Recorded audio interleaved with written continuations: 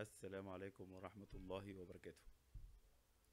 دلوقتي لو أنا عايز أخلي آه، text أو style معين لل font ات آه، يبقى افتراضي لو فتحت ملف جديد بعمل إيه؟ دلوقتي أنا ممكن أعمل select كده وأدخل هنا أقول له أنا عايز أشوف ال- ال font. واعدل زي ما أنا عايز يعني اعدل ال font أهوت. واخليه مثلا كبير شوية. واخليه bold واخليه بالشكل دوت. المهم يعني أقدر اعدل فيه زي ما أنا عايز. تمام. بعد كده لو دوست okay التعديلات دي هتحصل هنا. فممكن أقول له set as default.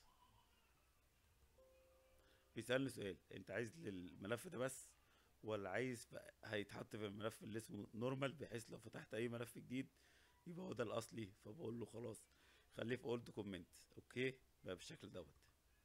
تمام؟ طيب. خلينا بقى نفتح آه، نسيف دوت.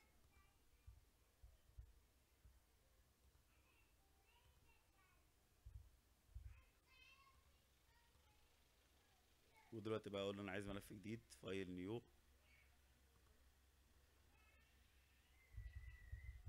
تيجي تكتب بتلاقيه واخد نفس ال style اللي إحنا حددناه. اللي إحنا حددناه من right click font عدل زي ما انت عايز عشرين bold وكده. وبعد كده أقول له set as default يتطبق معاك في كل الملفات بعد كده.